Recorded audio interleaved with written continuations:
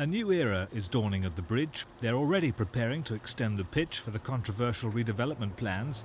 And if they can add to the Zenith Data Cup they won last season, Commodore have guaranteed bonuses on top of the £2 million Chelsea collect simply for turning out to play. Ken Bates, backed by Home Office Minister and keen Chelsea fan David Mellor, are both confident that Chelsea's future is here.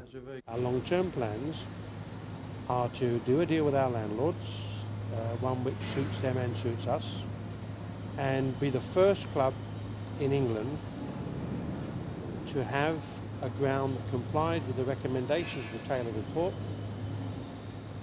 that is in accordance with government and public policy, and will probably be the only club and ground outside Wembley that complied with FIFA and UEFA requirements for staging international cup matches.